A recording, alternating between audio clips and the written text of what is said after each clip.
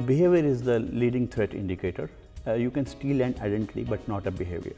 Machine learning algorithms monitor user and entity behavior in real time. They detect and stop anomalous behavior before a breach happens. The most uh, common misconception is that people think that it uh, invades their privacy, uh, which is not. It's all about numbers and analytics. We are not uh, monitoring individuals. Individuals. We are just uh, using machine learning or data science to detect anomalous behavior. Uh, the organization should know how important is the data or IP for them, then how many numbers of users and entities they have in their network to detect the threat landscape. And uh, finally, they should, they, they should need to know who is doing what and how they can stop anomalous behavior before any breach happens. Yeah, while sourcing for a behavior analytics uh, solution, the consideration must be given to the maturity of machine learning models.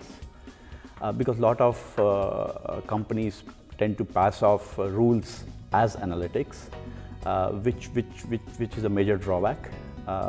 and then finally, the customer success is very important and the openness of big data platforms.